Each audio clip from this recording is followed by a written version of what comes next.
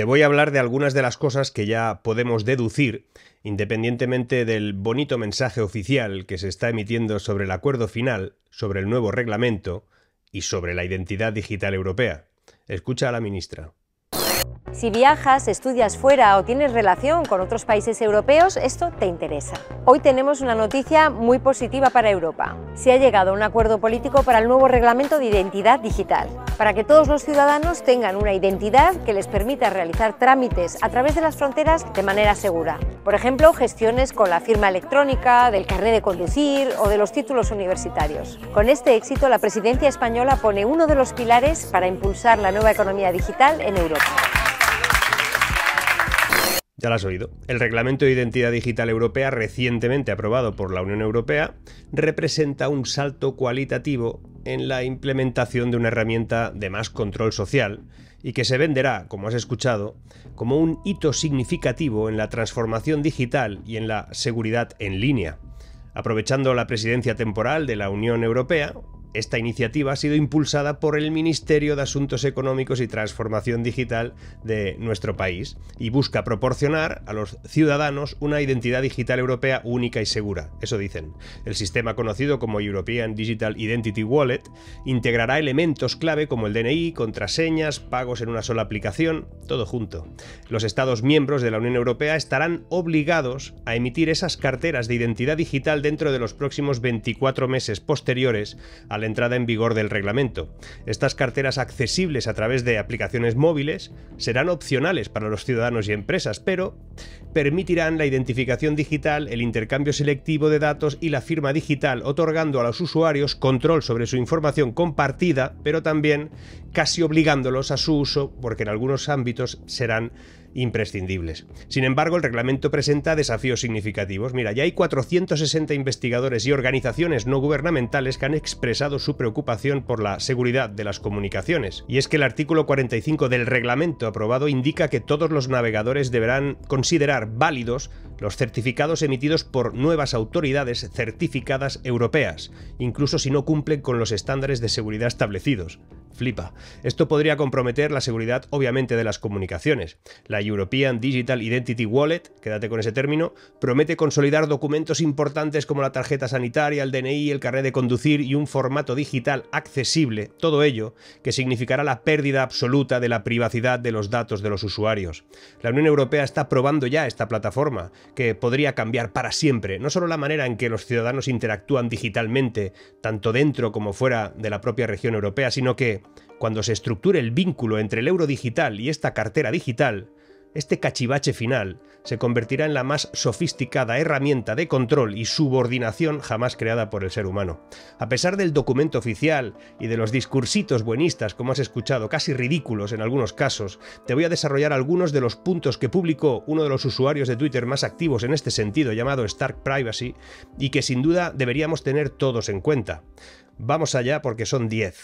1. Identificación digital y rastreo. La transición hacia una identificación digital siempre vinculada a un dispositivo rastreable plantea obviamente serias preocupaciones, porque a diferencia de las tarjetas SIM, que no son obligatorias y que ofrecen cierto grado de anonimato, una identificación estatal digital estaría constantemente asociada a nuestra ubicación, y así intensificaría obviamente el alcance del rastreo y de la vigilancia. 2. Dependencia de plataformas corporativas. Las aplicaciones requeridas para estas tecnologías podrían necesitar servicios específicos de gigantes tecnológicos, como los que conocemos, excluyendo sistemas operativos alternativos enfocados hacia la privacidad. Y esto plantea preguntas sobre la dependencia tecnológica de la monopolización del acceso a servicios básicos. 3. Cuestionamientos sobre privacidad y seguridad. A pesar de las afirmaciones de seguridad y privacidad, existen serias dudas sobre la vulnerabilidad de estos sistemas. La concentración de datos personales y financieros en un solo punto podría crear un gran hermano digital al estilo de 1984 de Orwell, donde la privacidad quedará absolutamente y completamente comprometida. 4 Integración de identidad y finanzas con las CBDC, el euro digital. Las monedas digitales de los bancos centrales podrían conducir a una integración sin precedentes de identidad y finanzas en un único dispositivo. Esta convergencia significará que nuestros movimientos financieros estarían directamente vinculados a nuestra identidad personal. Y oye, esto aumenta el potencial de vigilancia y control como nunca antes. 5. Control gubernamental sobre fondos personales. La digitalización de la moneda podría, podrá otorgar a las entidades gubernamentales y corporativas un poder sin precedentes sobre los fondos personales, lo que permitirá, en la práctica, la congelación o confiscación de activos digitales por una amplia gama de razones, desde infracciones menores hasta acusaciones graves, y todo eso sin el debido proceso judicial. 6. Obligatoriedad por razones de sostenibilidad. Obviamente existe la posibilidad de que en nombre de la ecosostenibilidad se presione hacia la digitalización completa de los sistemas de identificación, eliminando así las tarjetas físicas, y esto forzará a las personas a adoptar tecnologías digitales que podrían ser aún más invasivas en términos de privacidad. 7. Adopción voluntaria y la ilusión de la conveniencia. Estas tecnologías podrían ser adoptadas masivamente no por imposición, sino por la percepción, y lo van a vender muy bien, de conveniencia que ofrecen. Lo que pasa es que esta comodidad a corto plazo pues tendrá bueno, graves consecuencias para la autonomía, para la privacidad y a largo plazo la pérdida absoluta de libertad. 8. Resistencia y adopción consciente. Es vital resistir la adopción precipitada de estas tecnologías y promover una adopción más consciente y crítica. Mientras sea posible, deberíamos optar por las alternativas que representen privacidad y libertad. 9. Protección a través de alternativas. Bitcoin, junto con sistemas de código abierto y legislaciones en países defensores de la privacidad, son los únicos que van a poder ofrecer cierta protección frente a estos desarrollos. Sin embargo, no, van a ser soluciones completas y requerirán un enfoque integral que incluya la conciencia y la acción colectiva. 10. Incertidumbre y cambio bastante acelerado. La velocidad del cambio tecnológico y legislativo nos va a hacer imposible predecir con certeza cómo se va a desarrollar este panorama. Pero es crucial, los que estáis viendo este vídeo, es crucial permanecer informados y críticos. El avance tecnológico y las políticas gubernamentales en torno a la identidad digital suscitan preocupaciones crecientes, es obvio, sobre la privacidad. Y en ese contexto es crucial que los ciudadanos nos mantengamos informados y activos y en defensa de nuestros derechos digitales.